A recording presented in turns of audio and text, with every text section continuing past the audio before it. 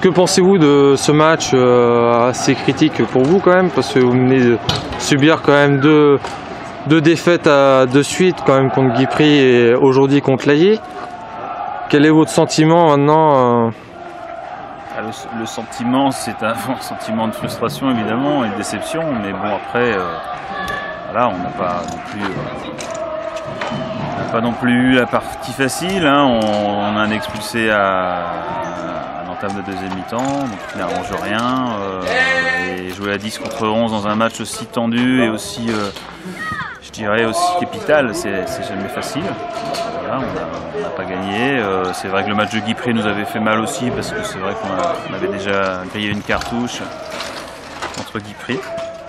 Donc c'est une déception sur l'ensemble de, la saison. Ça reste un- satisfaction pour moi dans le sens où euh, on, a, on, a, fait une très bonne saison. Euh, les joueurs se sont, sont donnés à fond. C'est un groupe de, copains qui, est arrivé à,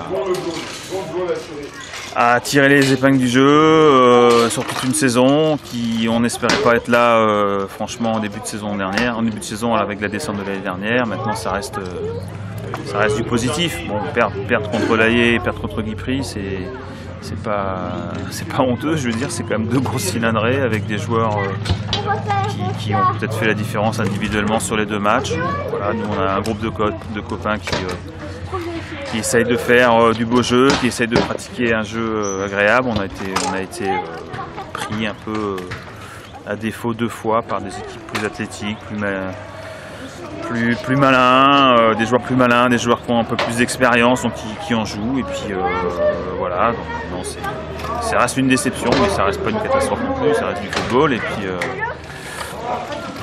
on mettra ça l'année prochaine, on essaiera de, faire aussi bien avec, toujours la même équipe parce que je pense que les gars sont motivés pour, pour recommencer le challenge. Donc voilà.